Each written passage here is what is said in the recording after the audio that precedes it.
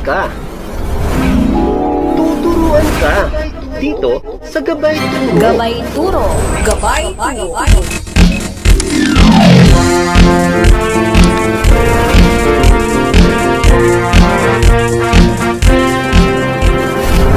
Sama-samang alamin Sama-samang tuklasin. mga ideya at sagot sa mga suliranin. Dito lang sa Gabay Turo. Gabay Turo. Gabay online sa mga magulang, mga guro at mga mag-aaral sa new normal situation. Wednesday, 3 to 5 o'clock in the afternoon. Live all the way from that Tayo Kabuyo City Facebook page Royal Cable Channel and 24. Al's Benlik Radio Aralan 108.0 FM. Gabay Turo na, Gabay Turo na.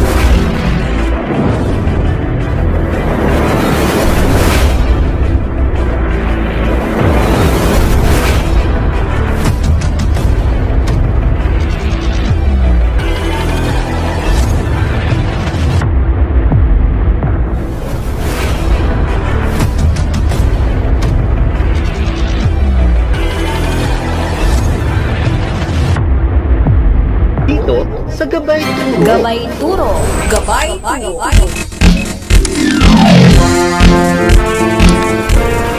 Congratulations, Gabay Turo!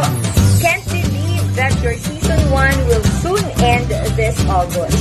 Parang kailan lang ang inyong episode 1 aired last October 12, 2020 with the title Kamusta si Juan at si Juana sa panahon ng pandemya na talaga namang tinutukan ng lahat. Hindi ko rin po makakalimutan ang episode 29 ng Gabay Turo o ang online tutorials with SEO Titans. Dahil dito na-feature ang ah, mga video tutorials at infomercials naming mga miyembro ng Titans na binuo ni Sir Michael Pantalon at ng kanilang grupo. And because you are gearing towards your season 2, talaga namang ang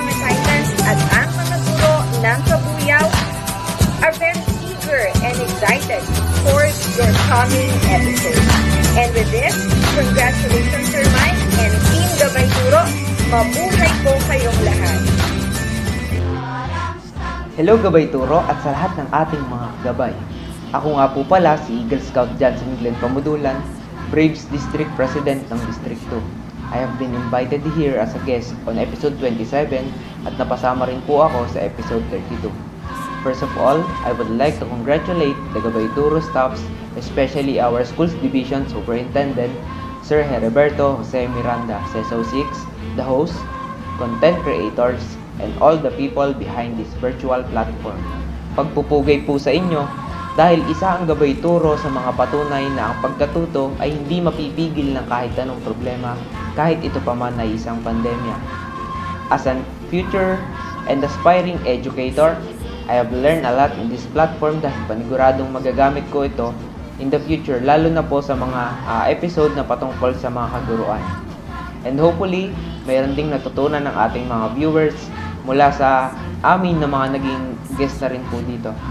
Napaka-effective po nitong gabay turo lalo na sa mga tao curious at gustong matuto ng iba't ibang bagay linggo-linggo.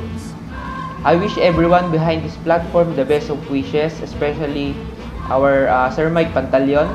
More episodes to come po, lalong-lalo na uh, sa mga youth na kagaya ko. God bless po sa inyo, stay safe po sa lahat, and see you soon po. Heartiest congratulations mga ka-GT! Sama-sama nating inilang at tinuklas sa mga tanong sa ating mga suliranin ngayong new normal situation. Kaya naman, every episode is worth watching at the comfort of our homes for free.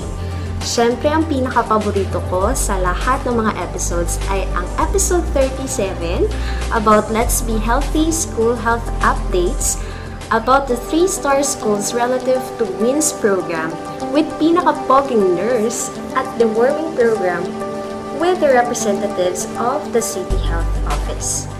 Again, congratulations! Keep on airing much interesting and practical information for us every week.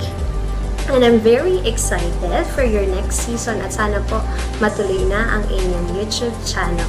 Isa po sa Gabay Turo episode na aking napanood ay ang Gabay Turo episode 38, Carry ni Nanay, Carry ni Tatay, Parenting Approaches and Styles, in the new normal na ang ating speaker po ay si Ma'am Noralie Escaliado. At bilang magulang, kanya pong iniwan sa mga manunood ang tatlong M.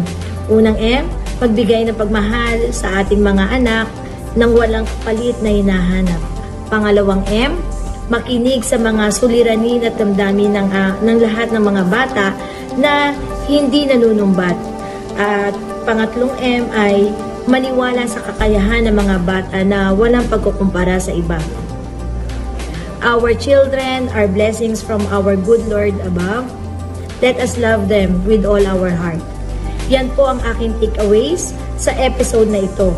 Kaya salamat, gabay turo sa lahat ng aral at mga impormasyon na inyong iniiwan sa aming manunood.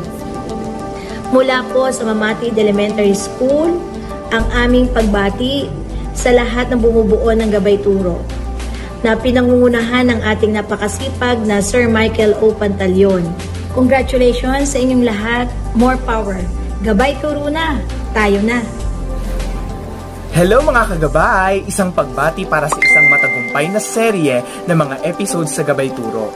Malaki ang naging ambag ng programang ito para sa paglago ng kaalaman at maging ng kaamalayan o awareness ng mga mamamayan, mag-aaral, magulang, guro at ng iba pang mga sumusubaybay ng programang ito.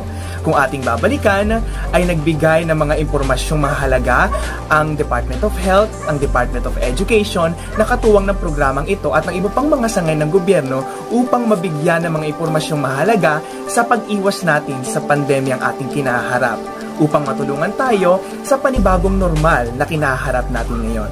Sa pamagitan po nito ay naipauunawa ang mga mahalagang bagay na dapat nating matutunan lalo't higit sa panahong kinakailangan.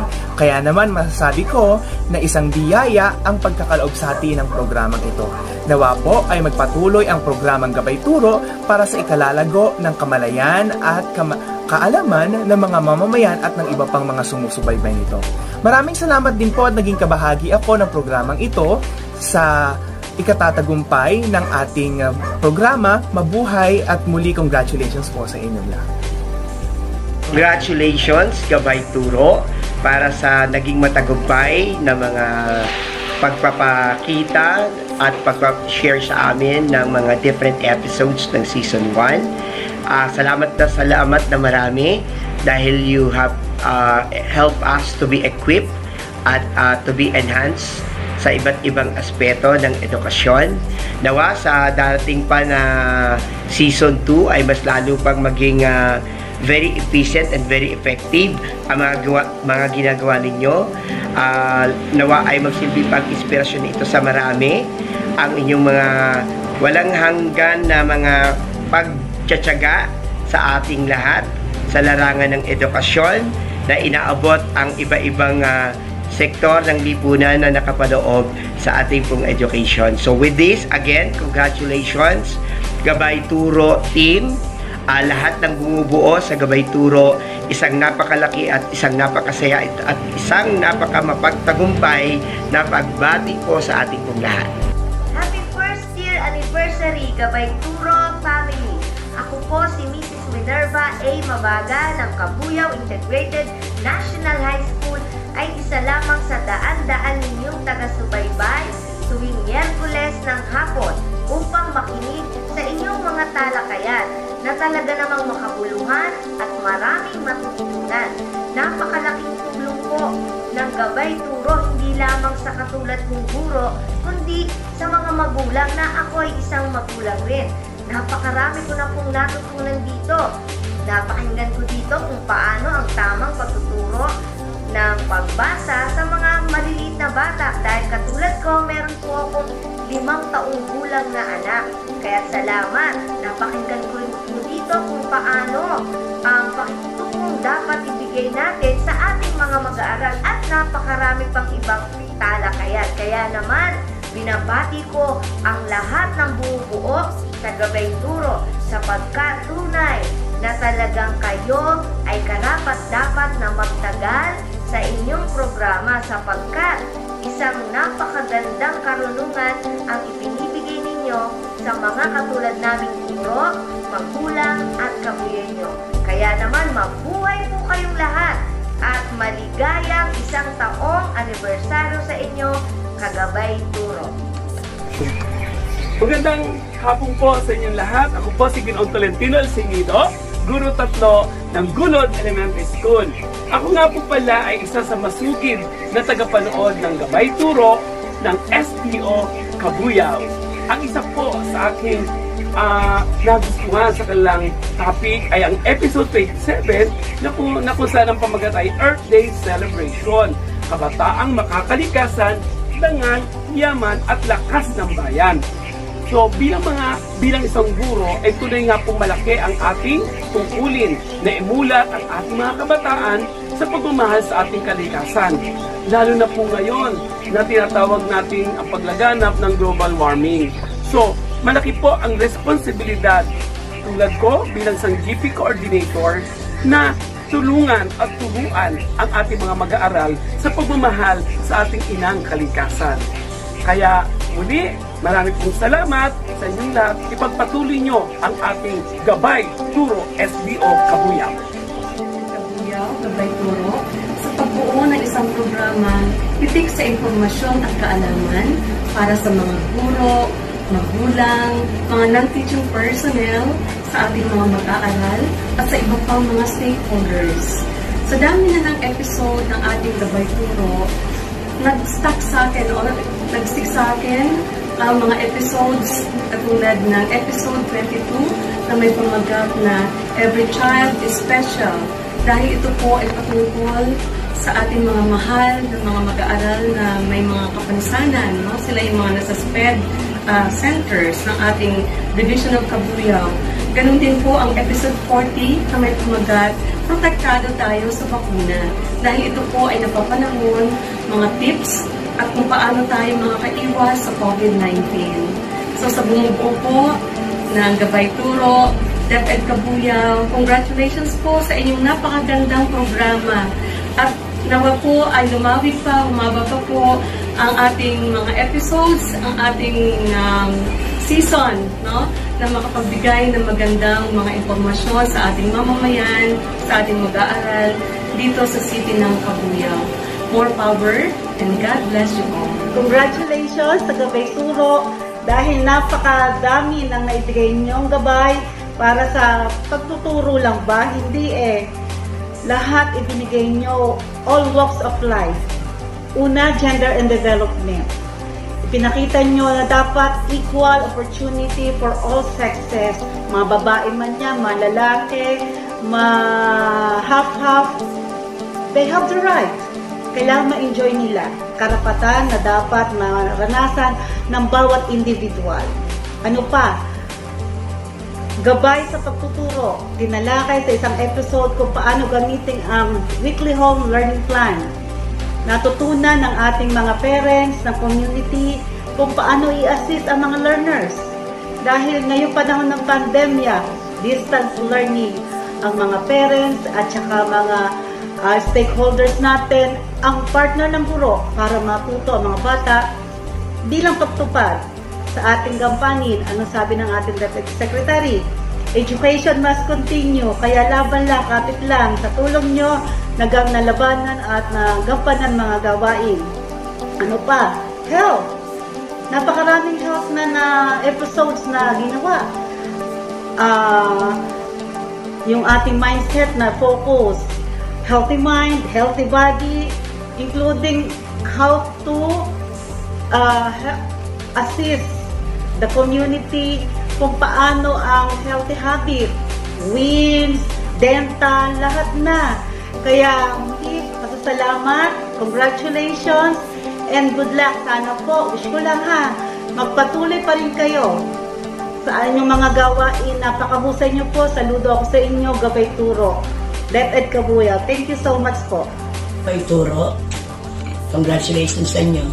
Ako nga pala si Ginang Alicia Isilapan ng Biga Integrated National High School. Ang mga paksang tinalakay sa bawat episode ay kinapulutan ng maraming aral. At ito ay laging makabuluhan at timely. So ang tumatak sa isipan ko na paksang tinalakay sa isang episode ay ang tungkol sa senior high school. Kung saan ibinahagi sa, sa episode na ito ang mga graduates ng senior high school kung saan sila ay may sarili ng negosyo at tinatawag na natin silang young entrepreneur.